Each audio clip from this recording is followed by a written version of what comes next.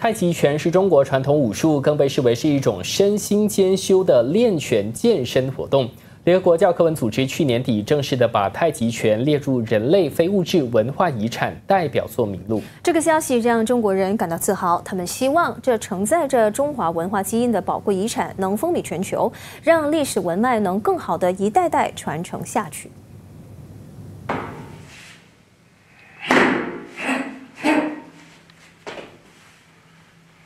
中国太极拳历史悠久，一招一式、一起一落，都深深蕴含着中华传统文化的气韵和中国哲学的理念。太极拳去年年尾成功被列入联合国教科文组织非物质文化遗产名录后，曾是太极拳推手王占军就希望能带动太极拳风潮，让越来越多外国人了解这门传统武术。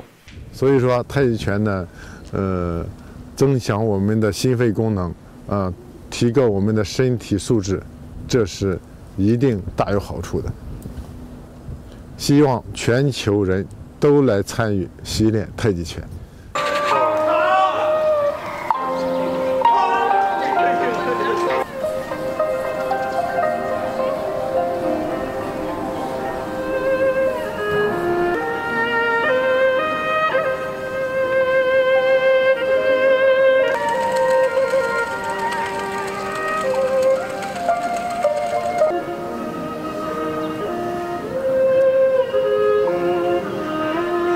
太极拳被公认为是一项能强身健体的运动。每天早上，中国各地的公园都不难看见许多老年人沉醉在太极拳的世界。呃，因为我那个之前身体一直不是特别好，呃，听说那个太极拳能够强身健体，呃，就是对养生方面都非常好，所以呢，太极终于走上世界了，这是我们的骄傲，是我们。中每一个中国人都感到中国的传统文化越来越被世界接受，所以我们感到非常高兴，非常自豪。